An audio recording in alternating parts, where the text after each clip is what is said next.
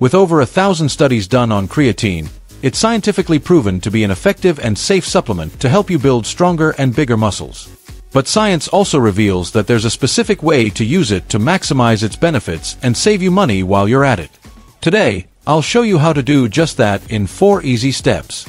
Before we dive into step one, let's first briefly discuss what creatine is and how it can help you build more muscle and strength.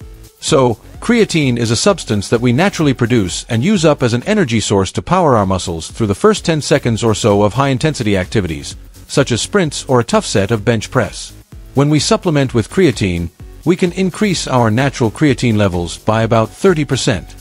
This increase, if maintained through consistent supplementation, has been shown to provide a significant boost in power and strength during our workouts, which over time has been shown to translate to significantly greater muscle growth. It's effective and it works, but it's also very easy to waste a bunch of money on it without fully reaping its benefits. The first step to avoiding that is to make sure that you pick the right type of creatine. Walk into a supplement store, and you'll be recommended all sorts of fancy forms of creatine that are supposed to boost absorption or provide some kind of enhanced effect. But what does research say? Well, ever since my last creatine video I posted a couple of years back, there have been some new contenders in the market. Luckily, a 2021 systematic review was recently published that analyzed eight different forms of creatine to determine which was most effective. As you can see in the following table, the researchers also broke down the cost per serving for the different forms of creatine, with creatine monohydrate being the cheapest, with buffered creatine costing almost eight times as much. Of the eight, which came out on top? Well, it turns out they all work just as effectively at boosting muscle creatine levels, which makes sense. Plain old creatine monohydrate has no problems with absorption, nor does it cause any notable side effects that a more costly alternative would be solving. These alternatives still exist in the market, however, because companies try to one-up their competitors by claiming to have a proprietary formula that makes it seem like they're more effective than others who just sell a single ingredient, cheaper form of creatine.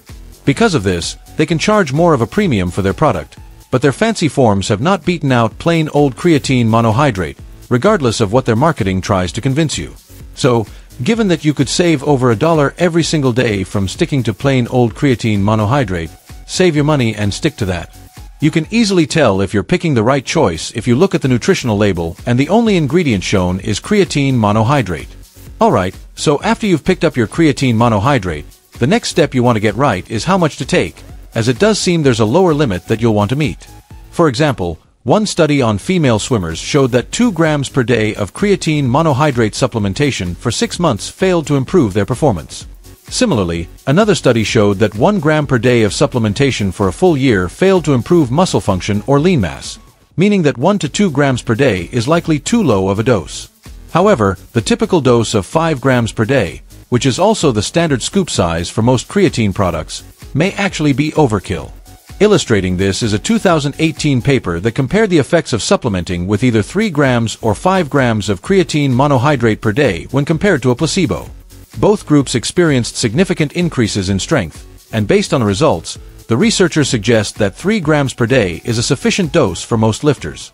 And if you crunch the numbers, it makes sense given that studies have shown a significant improvement in performance from dosages of around 0.03 grams per kilogram of body weight per day.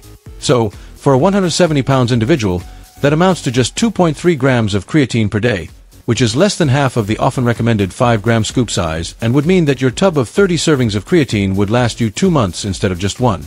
So, what I recommend is to stick to 3 grams per day, a little less than the typical scoop size, as that's going to be more than enough for the vast majority of people. If you are on the much heavier side, then you may benefit from just a slightly higher dose based on your body weight.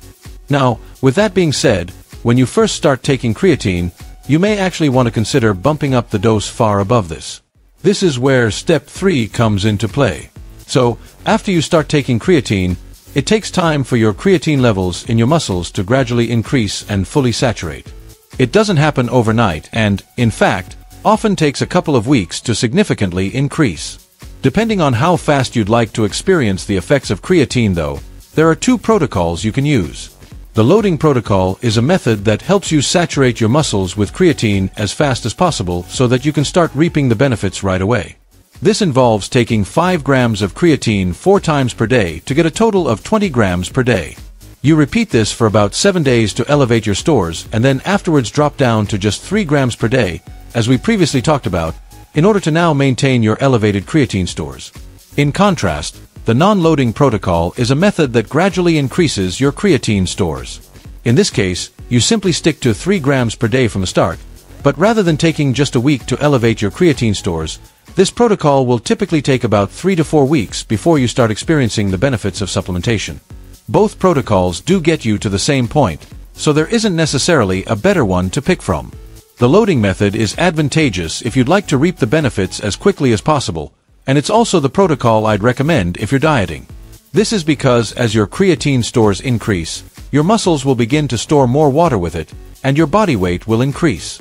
Taking a low daily dose will often result in a slow and gradual rise in your body weight over the first two to three weeks, which can skew your weight loss results. On the other hand, loading for a week will cause a quick initial spike in your weight, but then you can easily use that as your new baseline body weight going forward rather than having to wait several weeks to find out how creatine has affected your weight. The only potential downside of a loading protocol could be some digestive distress from taking so much at once, but this seems to be mitigated if you space out your 20 grams per day into multiple doses like we discussed.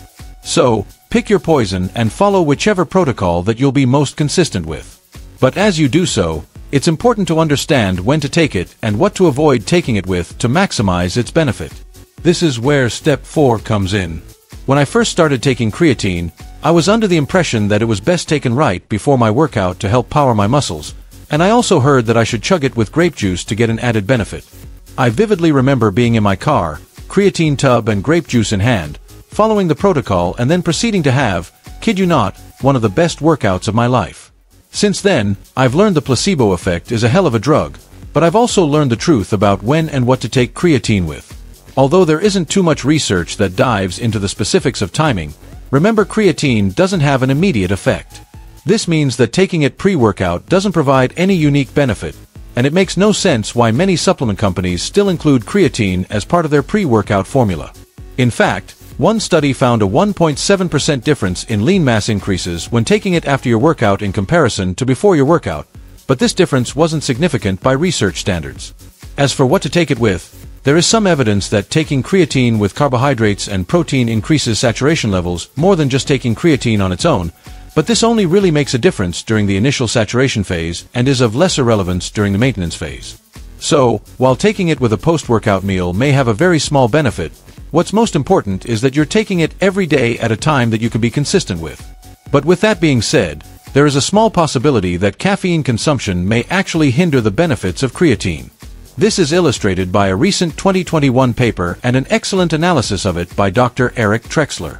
Within it, he took the past five studies done on creatine and caffeine and found that in four of those five studies, creatine alone worked to produce the desired outcome, such as a boost in strength and hypertrophy.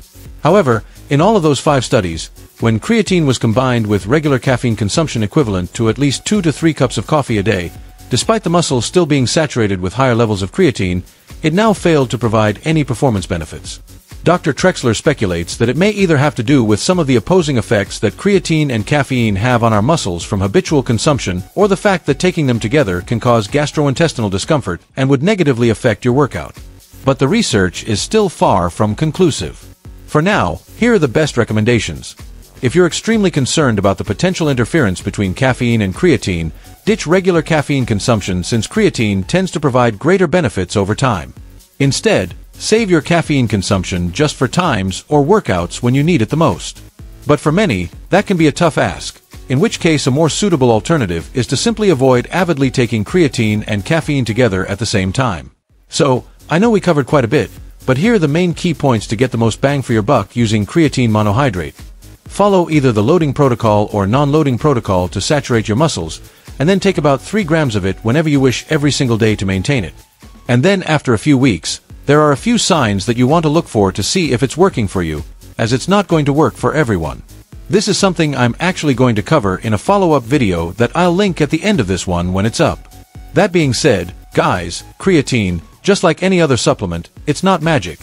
It doesn't do the work for you, but when paired with the right training and nutrition plan, it can help give you a bit of an edge. Thanks for watching.